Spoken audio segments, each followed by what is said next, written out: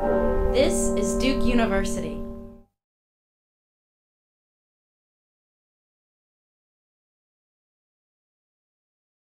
Good morning or good afternoon, whichever noon is. Um, my name is Duncan Murrell. I'm the writer in residence at the Center for Documentary Studies, uh, and also one of the hosts of Eula Biss, who has been here on a two-day visit uh, to Duke. Um, this this semester or this fall, in support of her book on immunity. Um, and we had a reading last night, and uh, we've had some talks or some opportunities for her to interact with students and with staff, and now we're here uh, to have some interaction with faculty and scholars, uh, get a forum for scholars and publics. This is a uh, part of a uh, ongoing reading series or visiting writer series that we've developed with the Kenan Institute for Ethics, and Michaela Dwyer has been my colleague in planning this, um, with the Kenan Institute for Ethics to bring to bring um, young or unheard or otherwise sort of overlooked um, uh, writers. That's not a really nice way to describe it. what I mean, what I mean is, what I mean is, is like to bring to bring authors who you might not have otherwise read to this campus and you know get them really plugged into the intellectual life of our university and uh, I think we're succeeding at that. So next semester, uh, we're going to have Leslie Jamison here, just so that you know, uh, who's the author of the empathy exams. Um, but anyway, that's what we're doing with the with the reading series. So this is the culminating event of uh, Eula's visit here today, and it's sort of sad. Yeah, it is. I I was just getting used to it. I would like to thank. Uh, you have to, I have to do this, um, but I'm also grateful to uh, our sponsors who have helped us. We've had uh, amazing amount of campus-wide support for this um, uh, Visiting Writers Series that we're developing. So I would like to thank the Forum for Scholars and Publics, Arts and Health at Duke, the Thompson Writing Program, the Office of the Vice Provost for the Arts, the Department of English, Women's Studies, the Franklin Humanities Institute, the DeWitt Wallace Center for Media and Democracy, and the Baldwin Scholars. So thank you all for uh, your support. Um, so without further ado, I would like to introduce uh, our panelists today, and I'm going to start with uh, Saiba Varma, who is sitting to my right. Um, she received her PhD in anthropology from Cornell in 2013. Her research focuses on mental health and trauma-based medical humanitarian interventions in Kashmir, a disputed region currently occupied by India. Since 2012, she has worked as a postdoctoral fellow at the Thompson Writing Program here at Duke. Her courses focus on issues related to violence and social suffering, humanitarianism and medicine, culture and healing, and her work has been featured in Cultural Anthropology, Ethos, Economic and Political Weekly, and online on the blogs Somatosphere and Warscapes. Welcome, Saeed. Um, Barry Saunders on the end there. Uh, for 20 years until December 2011, uh, Barry was an emergency physician at Chatham Hospital in Siler City, North Carolina, which is near where I live, so thank you for doing that. Um, in that time, he was also a cultural anthropologist of contemporary biomedicine and teaching hospitals, using approaches from philosophy, anthropology, history, religious studies, and literary criticism to consider how medicine and hospitals are, among other things, religious institutions with their own doctrines and scriptures, rituals, and priesthoods. In his academic writing, he is inter interested in how textual, rhetorical, and imaging techniques condition what seems evident. His first book, CT Suite, the work of Diagnosis in the Age of Non-Invasive Cutting, Duke University Press, 2008, is an ethnography and philosophical history of CT, that is computed tomography scanning. So, thank you. Welcome, Barry. And finally, I'd like to introduce our author, Eula Biss. She is the author of three books, On Immunity An Inoculation, which was recently named one of the best books of 2014 by Publishers Weekly. She's also the author of No- Notes from No Man's Land, American Essays, and The Balloonists, which was a collection of poetry. Her work has been supported by a Guggenheim Fellowship a Howard Foundation Fellowship, an NEA Literature Fellowship, and a Jaffe Writers Award. In 2009, she won the National Book Critics Circle Award for Notes from No Man's Land. She holds a BA in nonfiction writing from Hampshire College and an MFA in nonfiction writing from the University of Iowa. Her essays have recently appeared in the Best American Non-Required Reading, which is a great title, and the Touchstone Anthology of Contemporary Nonfiction, as well as in The Believer, Gulf Coast, Denver Quarterly, Third Coast, and Harper's Magazine. Eula Biss and John Bresland are the Chicago-based band Stet Everything, which is my favorite band name of all time. Does anyone know what Stet means? It's like an old copy So editor's editors term. to keep it as Yeah, it stet, is. stet means like keep it as it is. So It's something that writers write on their manuscripts after editors have done their damage. So you write stet, so thank you for naming your band That that. was my little joke to other writers. We don't actually have a band. um, Oh, is that right? We are just two very stubborn people who hate for our work to be edited, and at some point, I, um, I put a manuscript down on the table and I said, I just want to say stet everything. And, um, and then my husband said, we should start a band called Stet And so now we, we actually both put that in our bios. But the band is conceptual. Our music is conceptual. It's the music of stubborn people acting out their stubbornness. Well, I Um, like it. So, so I would like to start by asking you a question, Eula, and then this is the way it will work. Um, Eula's going to speak for a little bit, and then I'm going to ask both Saiba and um, um, Barry to respond in their own way to their, to their work, to the work that they read, and also to the ideas that were presented uh, in the book. So what I would like to ask you, Eula, if I may, um, would you describe the genesis of this project that became On Immunity? uh, how you knew it was the subject for a book, and how your conception of that subject changed from the beginning of your work, at the very beginning to the end, when you find out. Yeah, yeah. Um, yeah, thanks for that question. So this book came out of what what began as a very personal investigation for me. I was pregnant with my son, and um, and I had I had not thought very much about vaccination at all. As I was vaccinated, and um, and I had heard some vague rumors from other parents around me that there might be reasons for me to be concerned about vaccinating my son, but I didn't even really understand what the concerns were. So it was, to, to me, it was all quite vague and just a kind of anxiety that was in the air. And so um, I thought, because I do a lot of research for my writing, I thought, uh, I'll clear this all up with, with an evening of research. And, um, and I didn't think it would be that hard. And so I sat down and, and started reading.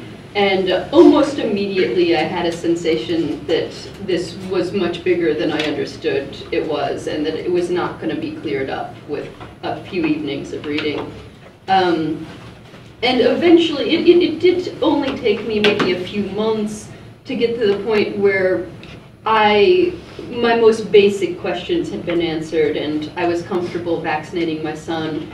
But even after um, I had vaccinated him and made the decision to follow the childhood schedule, um, I found that the, the reading I'd already done had brought up a lot of questions that were still interesting to me and I still wanted to pursue and, um, and had opened this terrain that I didn't initially anticipate I would find myself in when I started looking into vaccination. So I found myself um, I, I, thinking about the the individual's relationship to the government and the individual's relationship to society at large and citizenship and but also environmental issues and issues of toxicity in our environment and um, and then and, and really metaphor e- emerged. This book is as much about metaphor as it is about vaccination. And um, fairly early on i started noticing the the density of metaphor around vaccination. And it, i noticed it in conversations with other parents.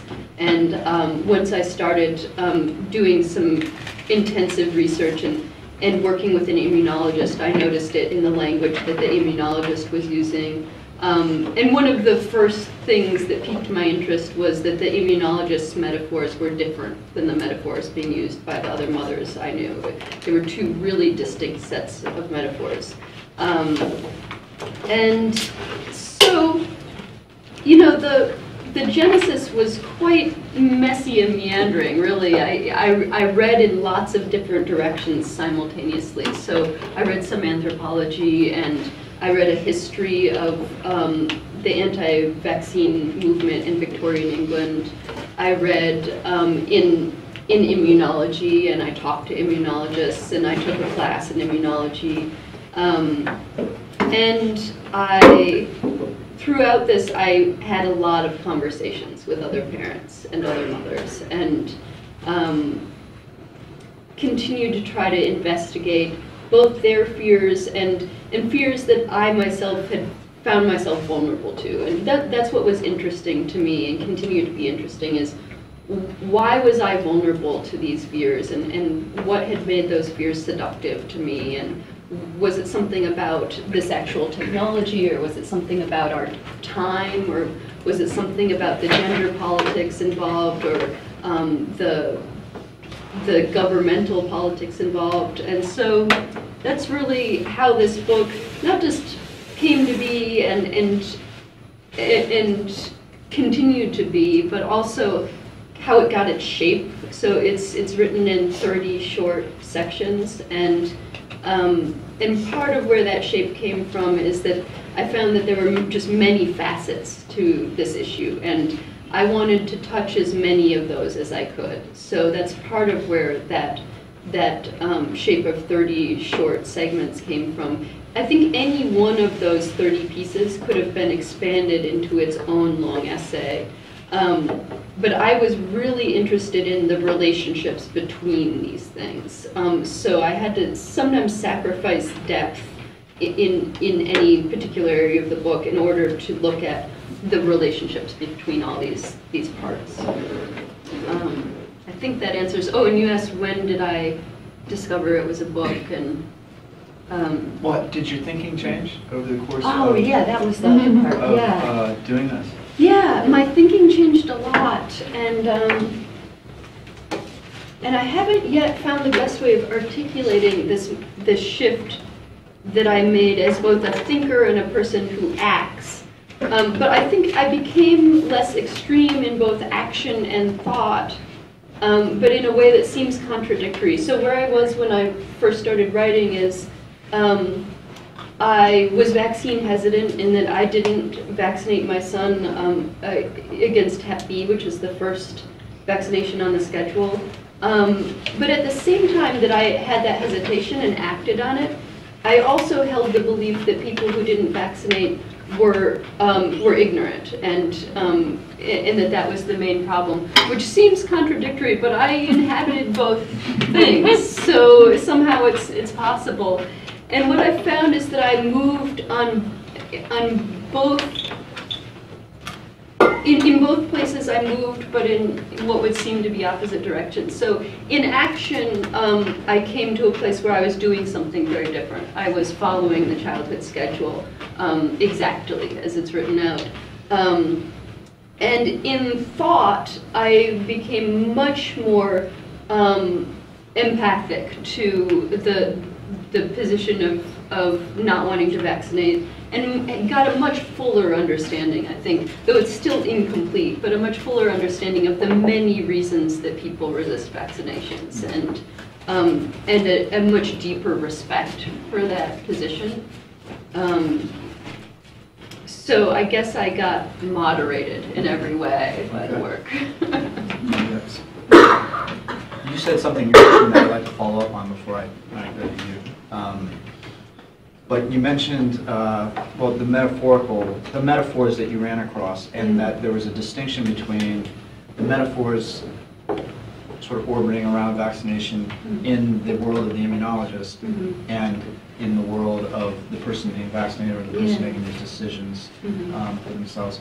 Does that have does that have real world impact, or is this just a uh, you know, it happens to be a difference in the language that they use. Yeah, I think it has real world impact. Um, like, an example of this, and this is just one of many examples, but many lay people tend to have concerns about quantity with vaccination. And, um, and sometimes that becomes meta a metaphor for just concerns about, I think, American excess in general. And so there's this concern, we're, we're giving this child too much too soon.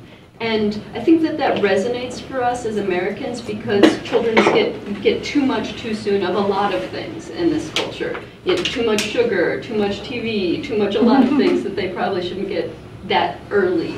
Um, and, but, but many, many of the parents I talked to, even parents who were following the schedule, said, I, I just have this sense that this is too much, that we're doing too much. Um, and this this sense of excess is was really absent when I talked to immunologists. So um, many of them um, felt that there are important areas where we don't have vaccines. So they, they would focus on kind of the lack, like we don't have a vaccine against malaria. And many of the, the practitioners that I talked to really felt an absence there, you know, that we, we could use a vaccine we don't have. But they, they also didn't they fundamentally didn't see several vaccinations at the same time as something excessive for the body, in part because um, at least the immunology professor that I worked with most closely, he was very aware of what the body is doing all the time in terms of handling pathogens. And, um, and once I understood how he was thinking about that, I understood that, yeah, vaccination doesn't seem excessive when you balance it against um, all the um, all the conversation our body is having with pathogens constantly. So the instant an infant even enters the birth canal, they're suddenly coated in bacteria, and bacteria is all over their body, inside their back body. Um, they're being colonized, and every you know minute of every day for an infant is is just thousands of encounters with pathogens, and the body is is constantly working with and against pathogens. And, um, and so in comparison, like three vaccines at once just doesn't seem like a, it, it's like a drop in a bucket to an immunologist. So I did, I really didn't hear them using any, any language of excess around vaccination. Um, in, in, what I did hear was a, a kind of odd reverence for the the incredible microbial world that we're kind of constantly in conversation in our own you know what people sometimes call like microbiome right and and again and again immunologists were telling me um, we're more them than us mm-hmm. like there's more cells of other creatures inside us than there are cells that are human cells hmm. and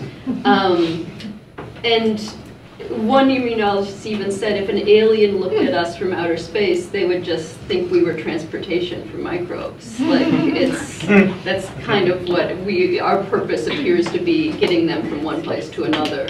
Um, so that's, and, and you can see how that bears out on vaccination, right? Where, where one set of people is thinking this is way too much, and the other set of people is thinking this is, oh, this is just a tiniest little drop in the bucket in terms of what your immune system is doing.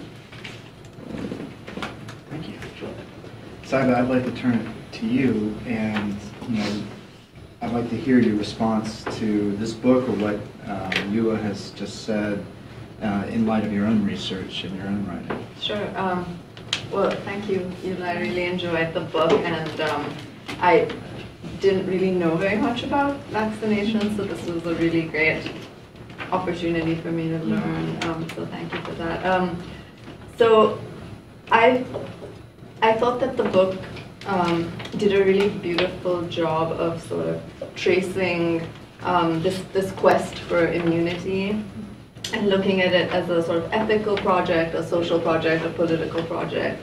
Um, and I thought you did a really nice job of kind of balancing, um, just, you know, looking at both sides of this problem of the desire not to vaccinate or the desire to vaccinate. Um, and I think that brings, you know, brings up these really kind of important, pressing sort of social and political questions that I feel like we are all wrestling with on, on some level. So um, on the one hand, um, I thought that the decision to vaccinate, you show how that's, um, it's, it's both a kind of acknowledgement of group ethics, right? The sense that we all inhabit a social body and we all kind of share, we, we all have a shared responsibility to that social body, um, and that we are kind of all inter, interdependent. Um, the philosopher of science, Annemarie Mol, would kind of talk about that as the excorporation of the body, or she calls them leaky bodies um, which I think is very similar to what you're talking about. Um, but I think at the same time, you also wrestle with the question of how this desire to immune, you know, to immunize is also a way of kind of sealing off the body. Um, and I think this came up a little bit in the Q and A last Yeah. evening. Like, um, it's it's almost the sense of other people as being diseased or other parts of the world as being the problem, and we need to kind of seal ourselves off from that. Um, but then on the other on the other side of it, I think you also show how decisions not to vaccinate, how while they might put the social body at risk um, in some ways, that um, they also emerge from, I felt like real fears and anxieties about contamination and about um, late capitalism, about you know industrialization and things like that, um, and this I think very real problem of of medicine and capital just being so interwoven that any advances in medical technology are you know driven by some kind of economic calculus rather than actually making our health better. So I felt like the people against vaccination are touching on those really important issues which are, you know, they're not easy to discuss. Um, so I think you you do a really beautiful job of balancing these things and um,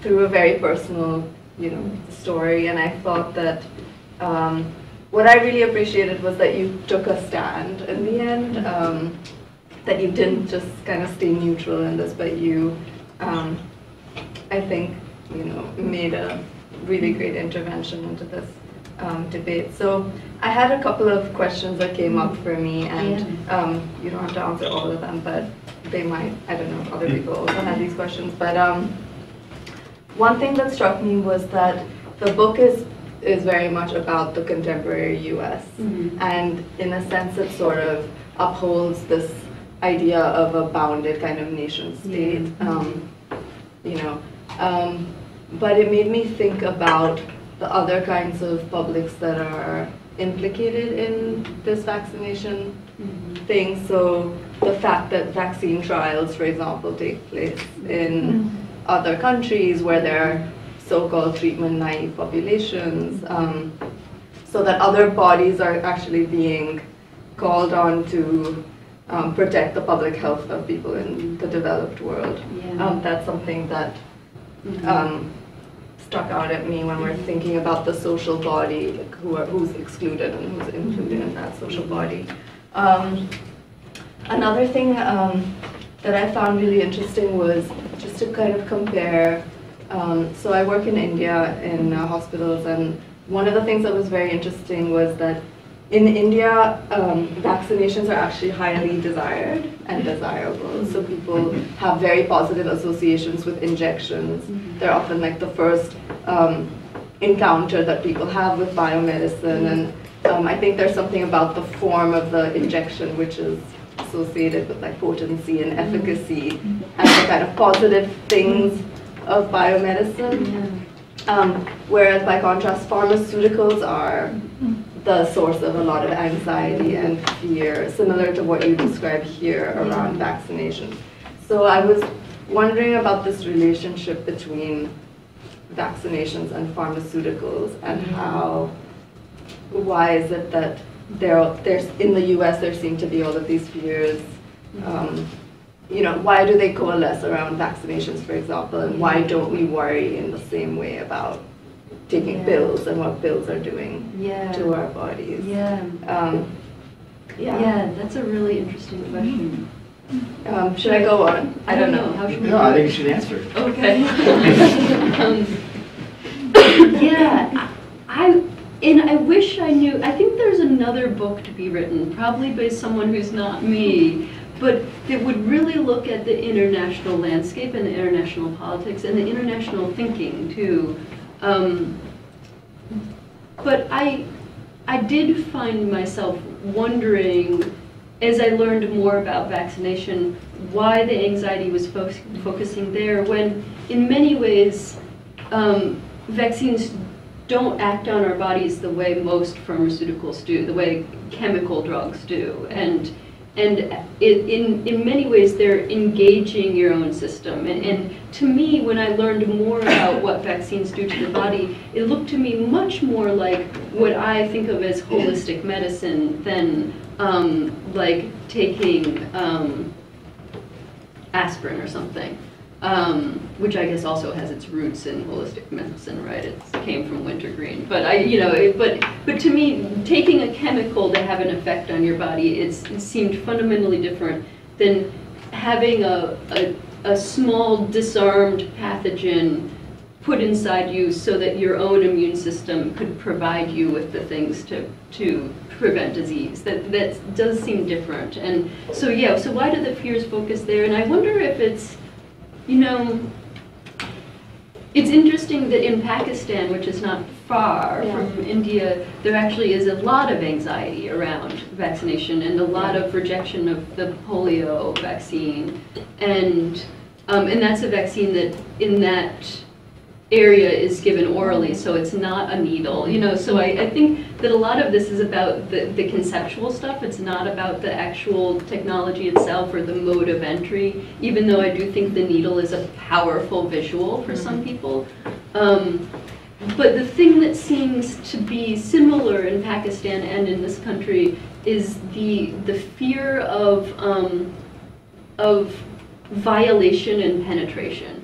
And in, in Pakistan, that had a lot to do with actually what happened with our CIA and um, this uh, fake vaccination campaign that was um, that was used to try to locate Osama bin Laden, and um, and this fake vaccination campaign used real needles and real Hep B vaccine, but not the three doses that you need to become immune to Hep B.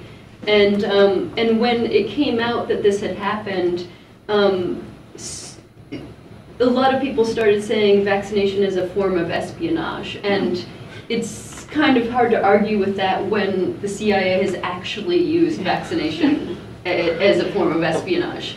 But I think that what made that really stick was the sense, and I think this comes up with vaccination a lot, that the sense that it's an intrusion, it's an invasion into the body, and and you know we have this metaphor of the the nation as a body. So when when the nation is penetrated by an outside force like the CIA, CIA and it does something really invasive, like use a fake vaccine campaign, um, it's easy for vaccination to become a metaphor for that larger.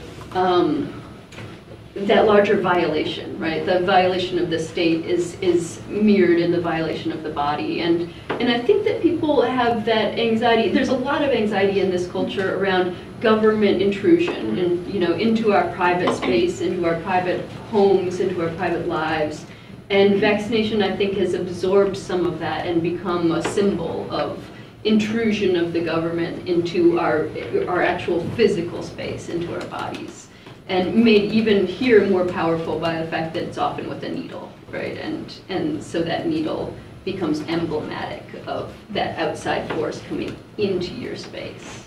I don't know if that's a Yeah, no. sufficient answer. Saiba, I had a question for you. I noticed that you, uh, when when Eula was talking earlier, that you were nodding your head when she was um, discussing, uh, you know, empathy for the fearful, essentially, you know, the ones who fear um, this, this uh, invasion, as you've just called it. Have you run across that in your work, for instance, in Kashmir? I'm interested in, in a, in a contested um, geographical space, whether that, you know, fear of, fear of medical intervention is also prevalent. Absolutely, yeah. Um, And do they connect? Yeah, yeah, absolutely. I mean, I think people there, as I was saying, the fear is really around pharmaceuticals and pills because there's such a um, proliferation of India has a very particular landscape of pharmaceutical companies where there are thousands of manufacturers. And so there's generics, counterfeit drugs, and branded drugs all kind of circulating. And I think that adds to the anxiety of you don't really know what you're getting. Um, so if you're, you know, people would say, they would go to the doctor and say things like, I don't know if the doctor is giving me a poison or is he actually giving me a drug? And that kind of ties into the larger sort of breakdown of social trust and relationships.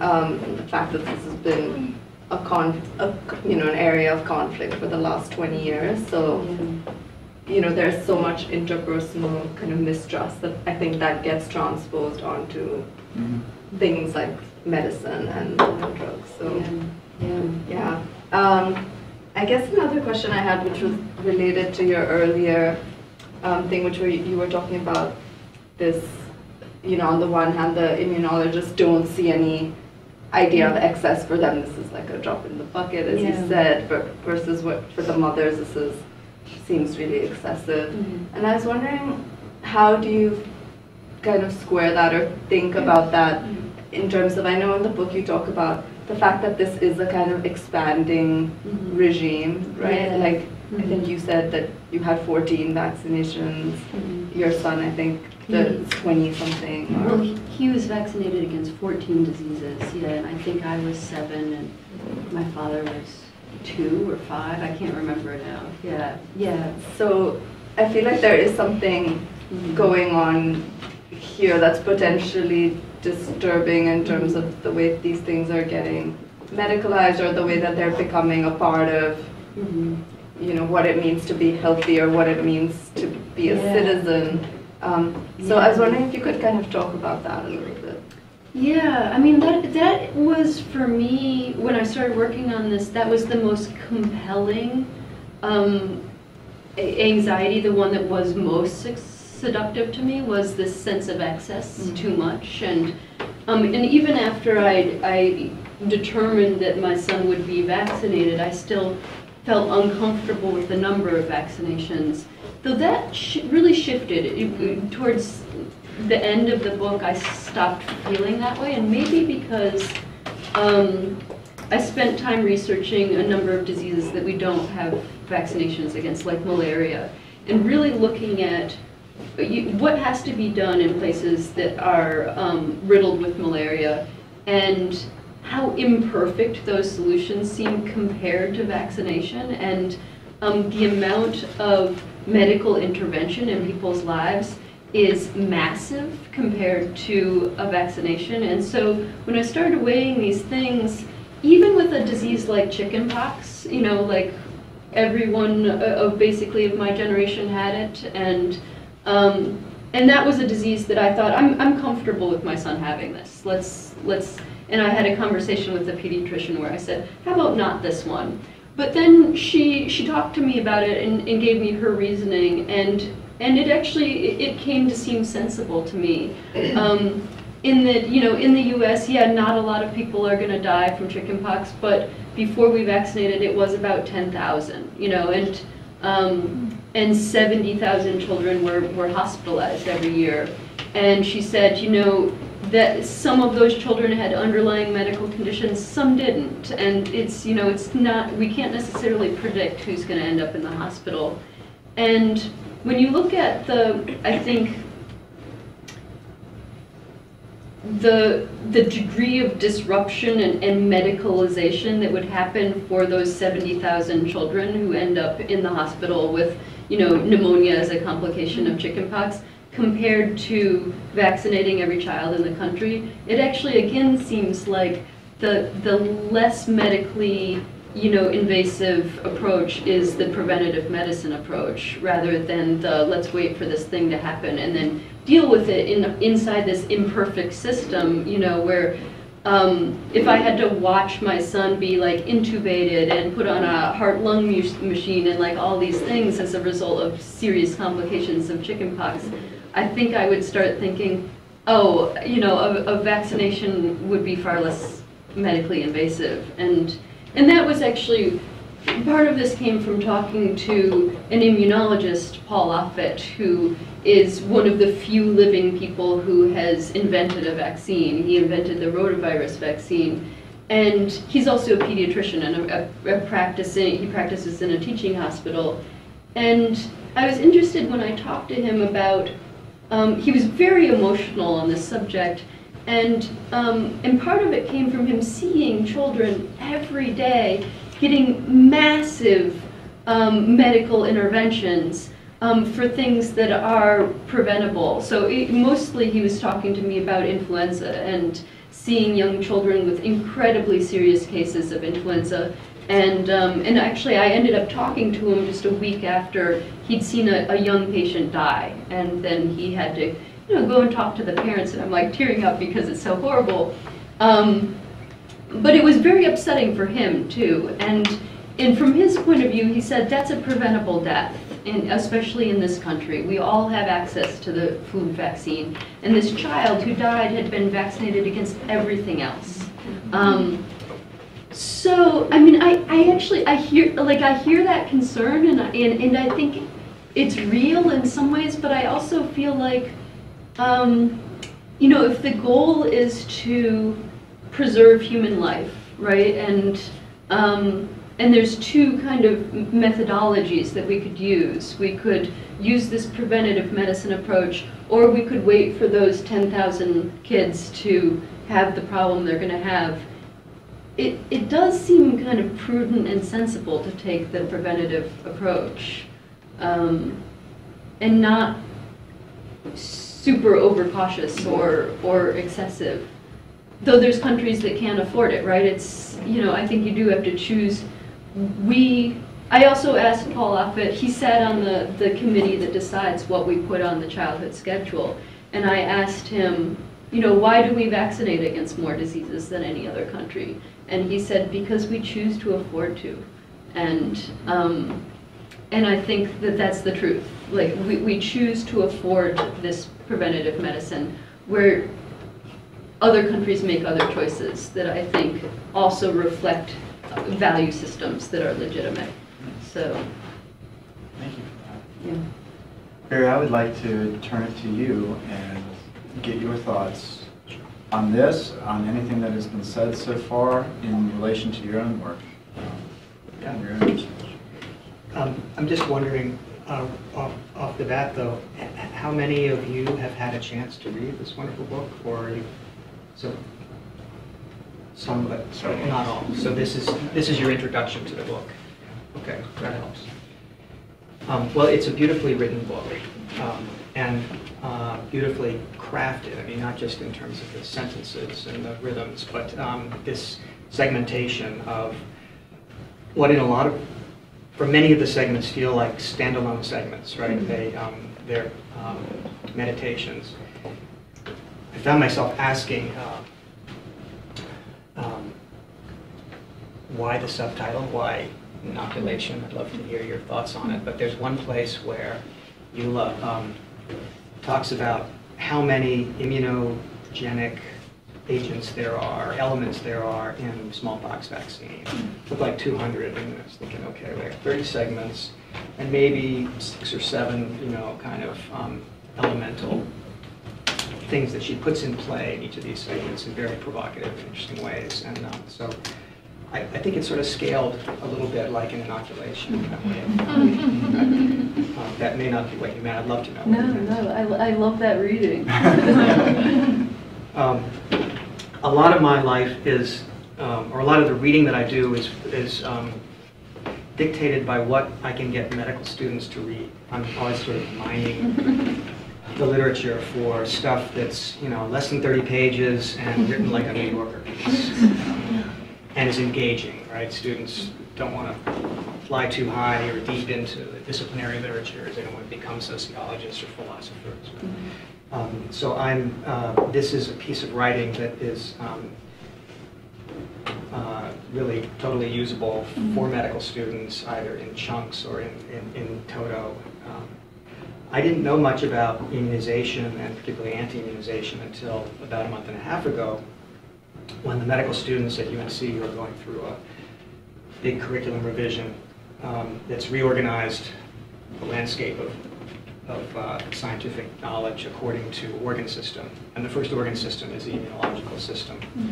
Uh, And uh, as director of the Humanities and Social Science COIL, um, I've been given license to have a few sort of speaking parts, but mostly um, to offer these enrichment documents that um, help to build on hooks that are provided in the science lectures uh, and, uh, and encourage the science teachers to, um, to incorporate what I would call STS perspectives, to, to move the social um, uh, we, we tend to do a pretty good job talking about the social as a determinant of, you know, illness experience or healthcare access or even the messy lives that doctors lead sometimes in, you know, hospitals.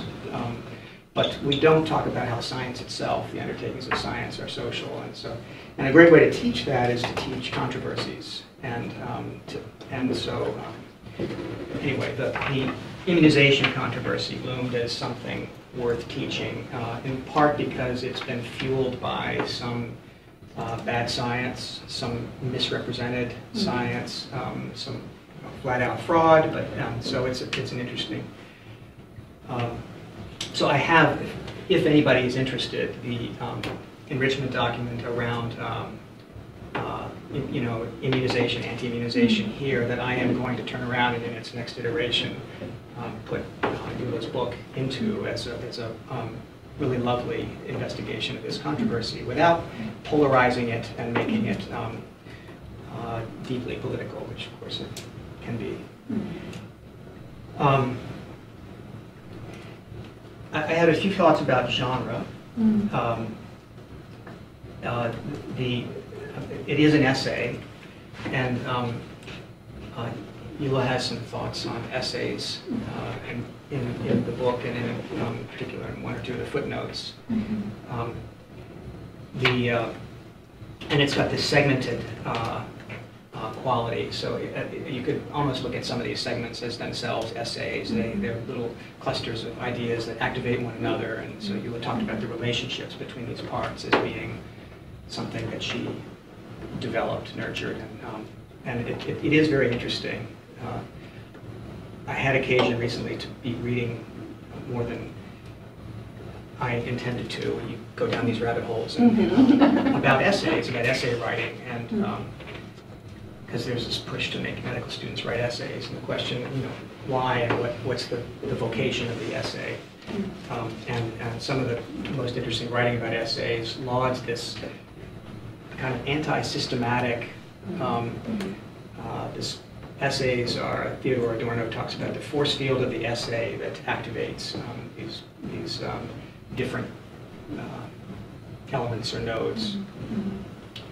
Um, I did think of these uh, segments of the essay as like nodes, right? And nodes are important to the immune system, as is maybe seems far-fetched, but there's a lovely passage where Eula talks about her father, your father, um, uh, in a gesture of caring and also technical, you know, um, uh, handling the, you know, palpating the necks of a sick child for, um, for nodes, right? And um, so the, these things have that feel of a carefully handled set of.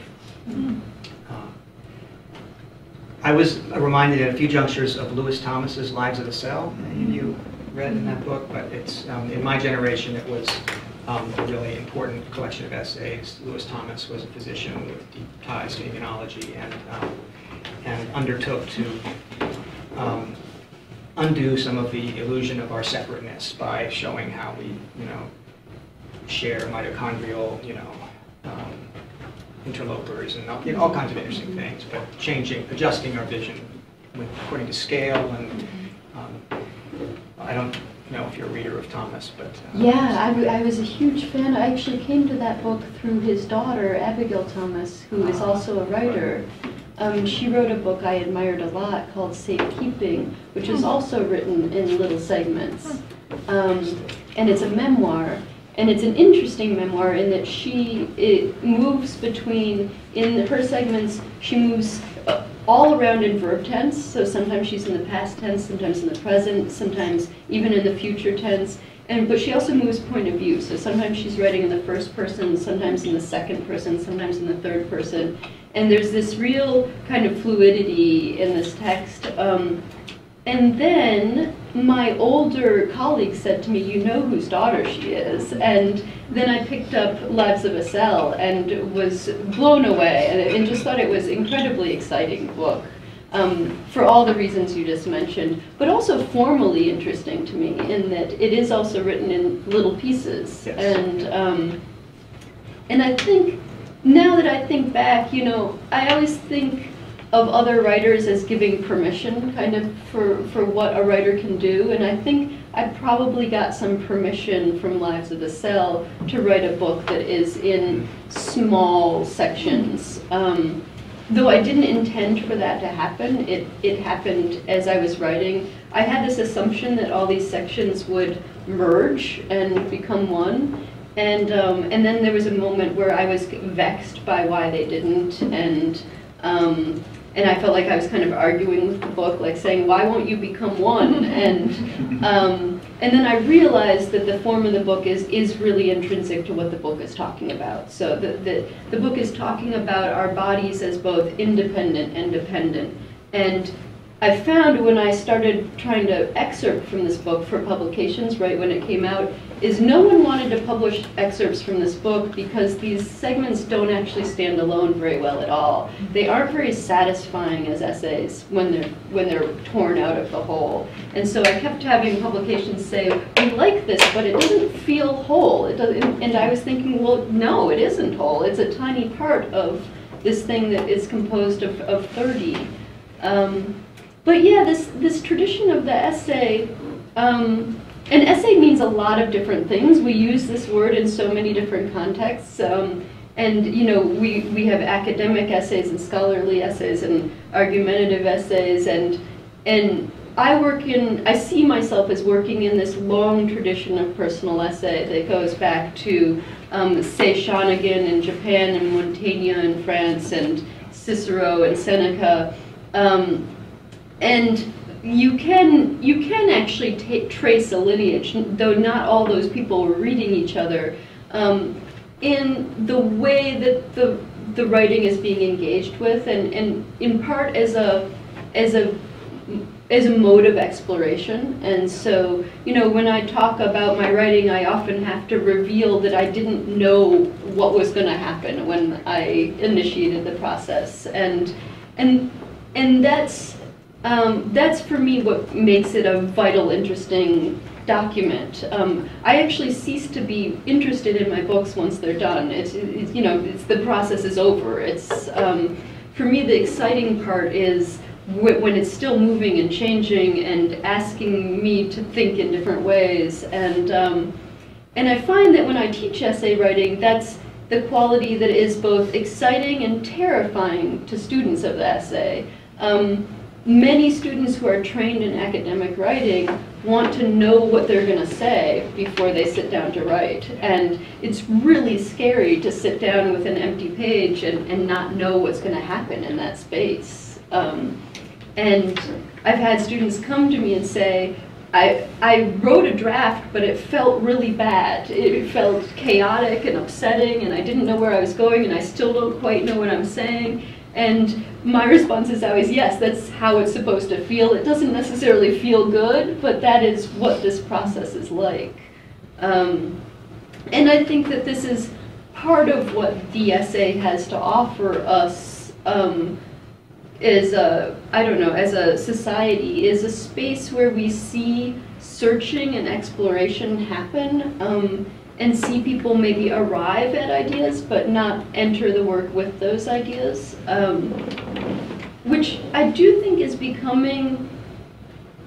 I don't know if it's becoming more valuable, but I think it's it's very valuable. I, I realized this recently when I, I asked all my writing students to write um, what they thought was the one most pressing issue facing writers today. I was just curious what these senior writers would say, and I was really surprised. Um, so many of them said they expressed um, concern about the kind of proliferation of opinion-based writing, so stuff that feels like op-eds on blogs, and they were saying, we see all these venues for writing opening, and that could be exciting, except it's not what you just trained us to do. It's, it's like, we see all these places where people are just having opinions and stating them, and we just spent four years learning how basically not to do that. And so their concern as seniors who are about to, to graduate is, is there actually a space for what I've just learned to do? Um, which it had never occurred to me to, um, to think of it from the student's point of view like that, but I could see when, when you're surrounded by kind of unexamined opinions all the time, how you could feel like, oh, I actually live in a, in a place that doesn't value what I do. Um, and maybe I'll circle back around to your question about the subtitle, um, Yeah, because I was so interested in that idea of the the immunological components in the 30 sections, like their own nodes or components. Um, nodes is actually a very helpful metaphor for me in thinking about the form, because you know it, these these nodes are concentrations of things that are circulating throughout the body, but but the stuff is also moving through. So the nodes are also places where stuff that's come from other parts of the body lands and then moves on sometimes. And um, and I do think, even though this book is in 30 com compartments, they're very fluid compartments, and and there isn't a single idea that comes up that isn't returned to somewhere in the book. So th they're they're in conversation with each other.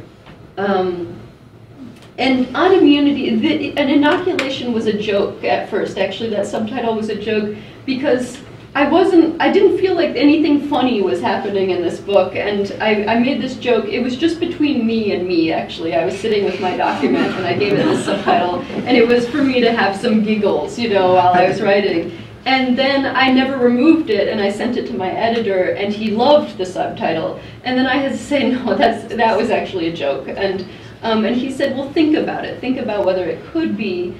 And then I did start to think about it, and, um, and I looked up the word and looked up the etymology of inoculation and saw that the broadest meaning of inoculation is to join or unite. And when I saw that, I thought, oh, this, this actually is the subtitle for this book. It's, um, th that's, you know, the underlying goal is to bring things together that have been kind of polarized and to bring bring thinking and ideas together. Um, and then, but then I also thought more, there was something that I had had major reservations about in this book.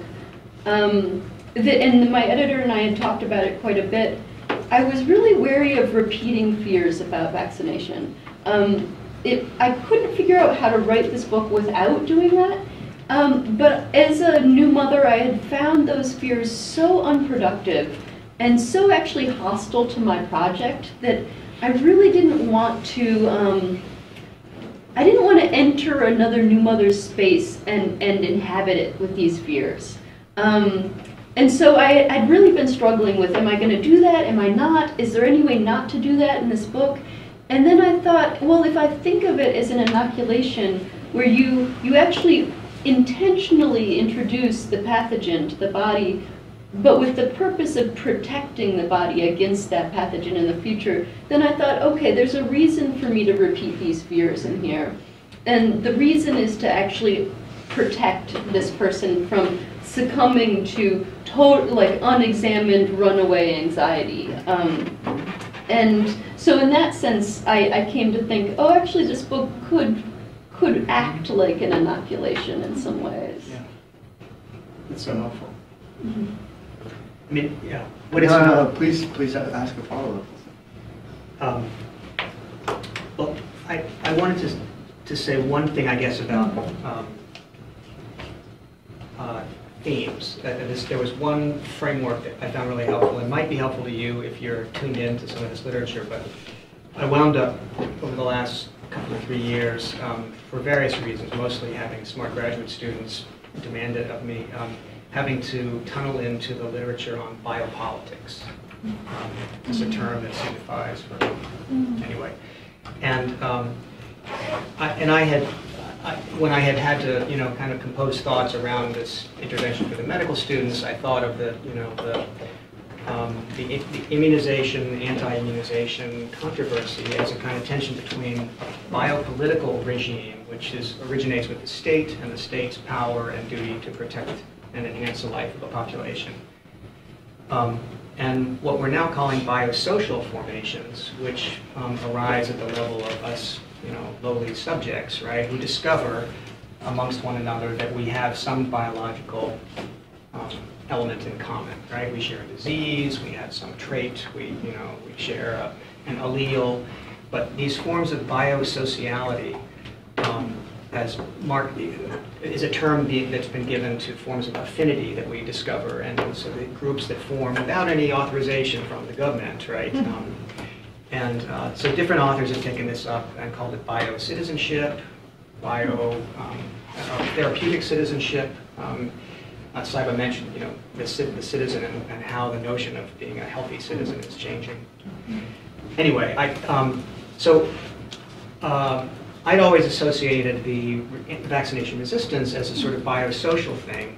This is us families with autistic kids, right, banding together saying, your vaccines caused it, governments, right, and, and, and a biopolitical regime, um, you know, and what, what I think, what I, what I think is fair to say about your project is that you're taking the question of immunization, um, governmental, without disavowing the governmental origins or the, the who's archived at those 70,000 kids, you know, who, um, uh, uh, with chickenpox, right, that um, are registered in. But um, returning it to the question of, of biosociality, right? Um, we, um, if we're going to embrace immunization, um, it's not because we're going to all of a sudden turn around and believe the government. We're going to have to discover these forms of affinity and commonality, one amongst another. And so it's the first of which is fear, right? And and um, and this um, desire of the mother to protect her children. This is a feminist book, and it's a really interestingly feminist book. Um, and uh, anyway, I, I just, uh, for me, it was really helpful to think of the book as ultimately a, a way of trying to re-articulate an account of, of, you know, reasons to um, be um, warmer toward immunization by entering into the, the, the grounds of, of social, you know, affinity that we have and feel with mothers who are bio, uh, with who are um, immunization, immunization hesitant. Yeah, yeah, vaccination doesn't, yeah. um, or, or those who are very, anyway, so, um, let's see, I did, um, I like that you said I was feminist. I just want to say that I appreciate that. And, and for me, like, vaccines is like the ostensible subject, right? It's the entryway. But when I really stand back from the book and think, what was I writing about? I think I did have a vision of like feminist citizenship is like how I would describe what I was trying to talk about, like a, a citizenship informed by feminist values. yeah, hmm. great. And I think that really comes out at the end of your book when you use like the metaphor of gardening Yeah. and thinking instead of kind of paternalistic care, but thinking about care, maybe maternalistic Yeah. care and what that kind of opens up um, that's different from like this biomedical sort of paternalistic idea. Yeah, yeah. Yeah, and this term paternalism has really tied a lot of, has tied the government and it's tied the medical establishment to a form of parenting that actually, I, I don't think a lot of fathers practice anymore in contemporary landscape. You know, we, we have, as a society, moved away from a certain model of fatherhood. Um, but we still use that model of fatherhood as a metaphor for the state and the medical establishment when I think that using the word maternalism is, is helpful because even though it sometimes means other things, and I had to navigate that in the notes, but um, in that it, it, I think it refreshes the metaphor and reminds us that, oh, there's something else going on here in addition to, you know, the power differential and the control and subjugation, there's also care and um, and a, a desire to protect and um, and improve the lives of citizens that are happening within the medical establishment and in the government. And, and that's actually why we have both of those entities, right? Is, is because we need systems to provide care and, and in, in, in a sense, society needs parents and, um, and it's, it's right for us to be suspicious of power when it's not used well, but I also think that we can't um, throw out the benefits of these systems with their drawbacks, that we have to find some way um, to be both like responsibly skeptical and, and trusting so that we can be well parented. Um, but it, that, uh, to me, that, that paternalism conversation is still very tricky. Um, and I was talking to uh, the novelist Chris Adrian, um, who who writes. He he's done some work in the. Um, there's a narrative medicine program at Columbia, and he's done some work there. But he also writes crazy uh, novels where you're like um, Walt Whitman is traveling in a time machine and uh, like through different war zones and it's it's crazy awesome fiction that he writes um, and quite beautiful. And he's also a pediatric oncologist and um, and we brought him to Northwestern to talk and he he and I had an exchange about paternalism where he said you know he's he's probably about my age and he said you know in my generation of medical students were taught that the worst thing you can do is be paternalistic. You know do anything do anything you have to do to avoid being paternalistic. And he said now that I've been in practice for a while I I find myself kind of troubled with by that sometimes. And thinking, you know, are, are there occasions where actually I, I should do something that could be interpreted or seen as paternalism? And, and he was really, you know, you know, the conversation, neither he nor I had an answer to that, and, and I still don't have an answer to it, but I think that it's, the thing that I do feel a little more certain about is that we can't just, um, I think it's a mistake to say all forms of paternalism are wrong and dangerous. Um, when I, I think there's situations where we, we need that kind of oversight. Well, I think we could sit here between the three of you and talk for hours. We could talk for a long time. I I would like to throw it open to our audience here for some questions, if you have any. Sure. Um, so first off, I'm just really excited to be here. I haven't read your book yet, but I'm so excited to read it now. Um, I'm a senior public policy major and I'm pre-med. I'm doing my um, honors thesis on distrust of government and vaccine refusal. Oh, wow. Um, so this is like, this is it. This is exactly right up my alley. Um, and I just really feel like um, I've gained so much language to talk about this um, because part of my issue is coming from a very kind of public health um, scientific standpoint is it's very numbers, it's very quantitative, and um, I did a quantitative um, study on if parents who distrust the government and parents who distrust healthcare providers are more likely not to vaccinate and do a number of other parental health and safety decisions. Um, and most of my hypotheses were true and that they do tend not to vaccinate more, um, among other things. But I think one of the things that has been really hard for me is um, yeah, just trying to communicate all of this because in the beginning of this, I, I started very similarly to you where I was like, people who don't vaccinate are ignorant. End of story. I, you know, it ends the conversation when you say that. Um, and as I've done my research, it's really just been um, this crazy journey of like finding out that there are very legitimate fears. There are very, it's a very emotional process. It's a time of a child's life when, and of a parent's life that is, is very sensitive to a lot of different external um, things. And I think kind of going back to why, um, you know, why do our concerns um, about medicine kind of coalesce in, about vaccines as opposed to other pharmaceuticals? I think part of it is that um, it's one of the most visibly regulated um, medical decisions. While there are lots of medical decisions that are regulated, it's a lot of like undercover stuff through in- insurance companies. You don't realize, oh, you're only allowed to get this once a year and it's covered by insurance. Well, that's a decision that public policymakers made but it's not as visible as, um, as, you know, these are the vaccines your kid needs to get before you go to public school.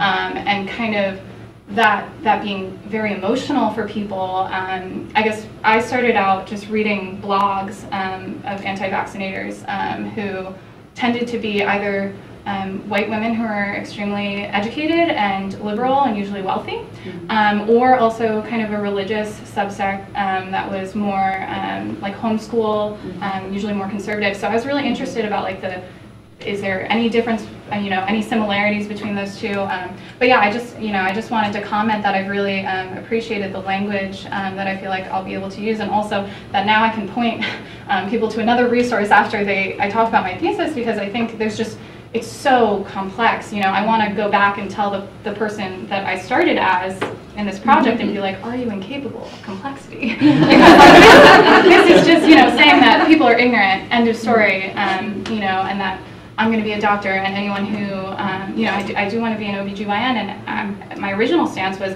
anybody who chooses not to vaccinate, I can't even, don't walk in my door. Um, but I just feel like this is really, um, you know, been been such an interesting journey. And I think talking about helpful metaphors and like just even seeing like the overlay of different um, you know using English as a way to to connect with medicine is just so important um, and and hard to explain to people because it's like okay yeah like your pet project of like you like to write papers and you also like medicine. But um, they're they're so the language um, you use even as a physician to a, a patient to communicate um, I think is is essential like you were talking about the, the different metaphors that the immunologists use and um, anyway yeah so that was just comment but thank no, you so much yeah, I'm really excited for your project, Yeah. and, and glad that people are doing work like what you're doing. And you know, there's there's something that I want someone to do. Again, I don't think I'm the right person for it, but I got a really good, hard critique of this book right before it was finished. And um, it came from the essayist Maggie Nelson, who I, I admire, and she has a, a wonderful book that's going to be coming out this spring called The Argonauts. Um, and she read a draft of this for me not too long before I had to hand in the whole book.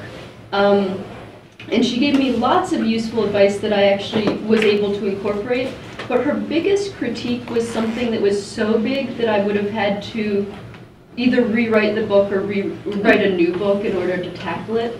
But her big critique was she said, you know, you, you really put a lot of responsibility on the individual in, in your kind of assessment of the situation. And she said, but what I keep thinking about in this book is what's going wrong on the governmental level that this many people don't feel safe and um, this many people don't feel that they can trust um, pharmaceutical companies or doctors or politicians. And um, and she said there, there's really a, a necessary and meaningful examination of, of the structure of our government to be made in this area to figure out what needs to change so that people feel safe. And that struck me as a, as a great critique and as something that, yeah, that's something that somebody needs to look at. And um, and for a while, I felt really despondent, like, oh, I have to turn in this book in three weeks, and I can never tackle that. But,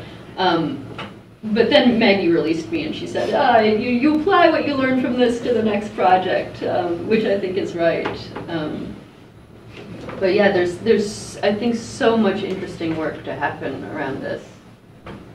So the schedule says that we end at 1:15, but uh, I think that we're happy to stay for a little Yeah, but no one should feel like a that okay? prisoner. But you Yeah. should- if you need Such to go, if you need to go, please go. Um, It's okay. But are there any other questions? Bailey? It's not so much a question as a comment as well. Um, and I was encouraged by your comment because I'm kind of coming from the other end of the spectrum.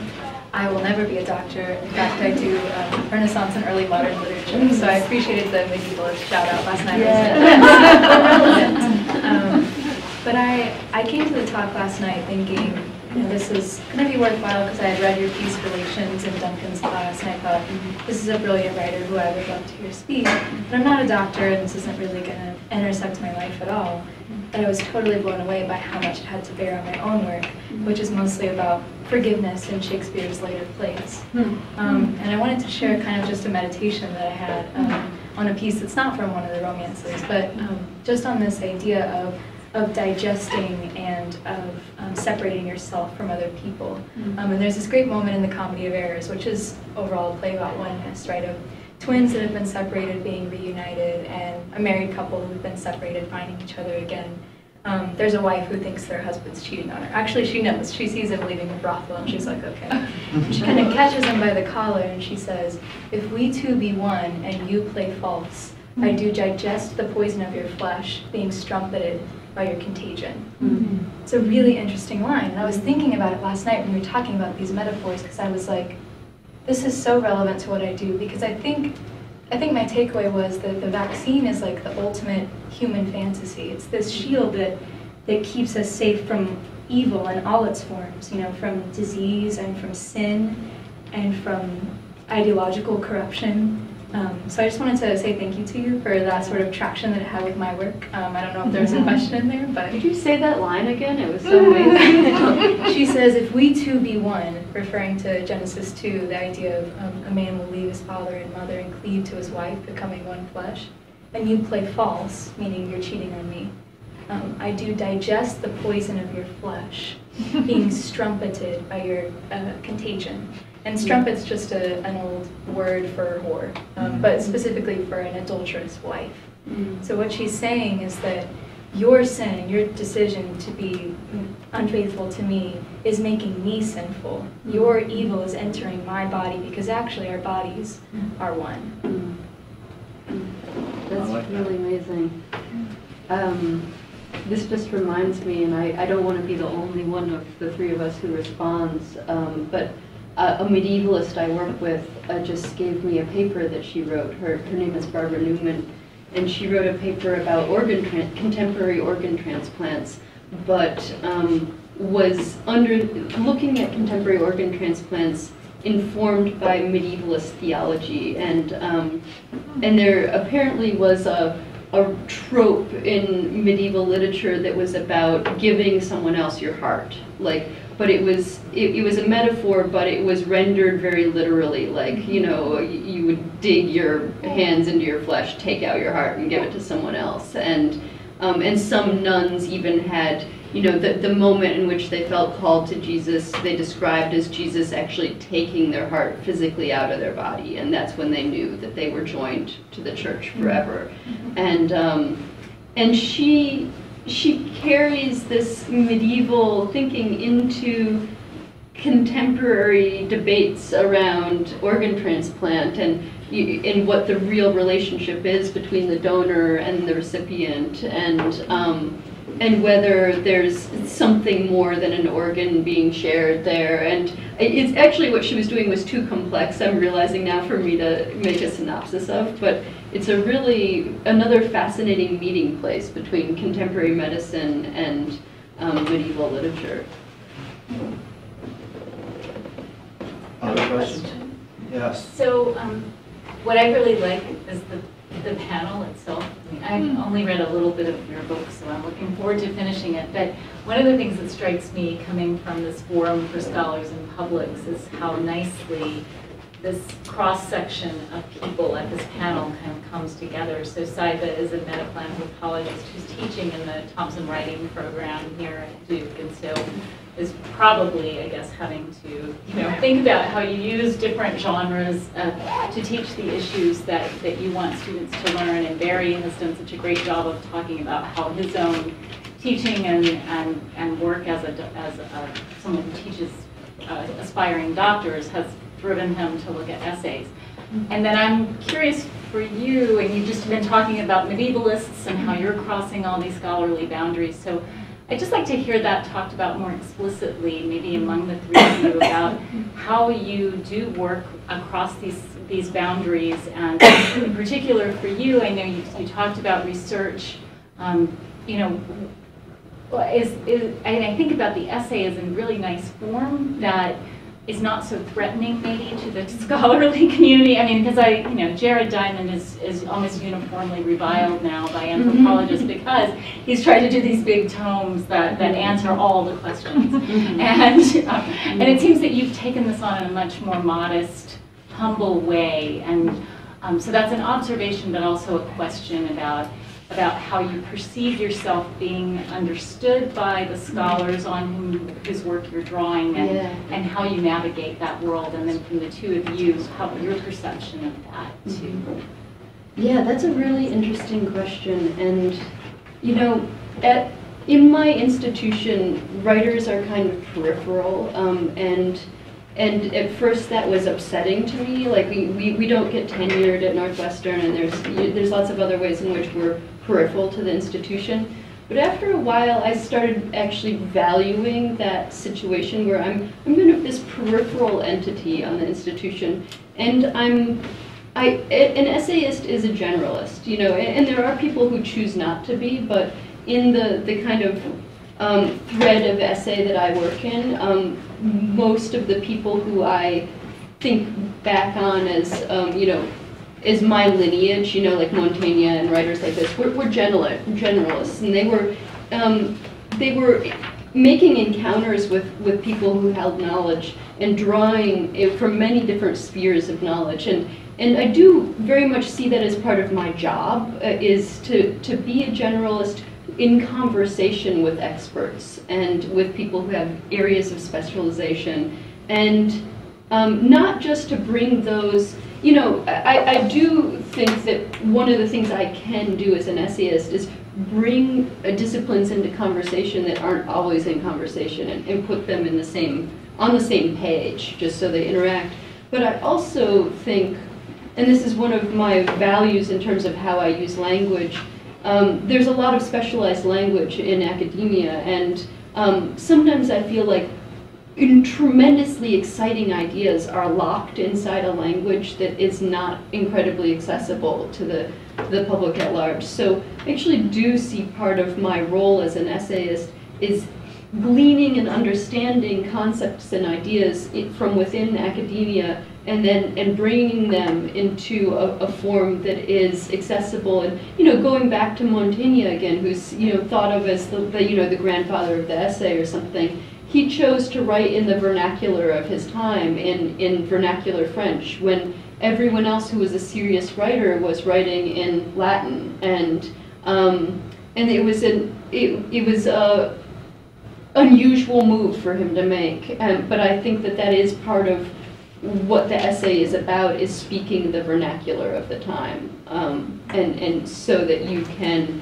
engage with you know, a, a, a broad public. Um, but I'm I'm interested. I, I I'm interested in hearing both of your thoughts on interdisciplinarity because both of you are also interdisciplinary as well.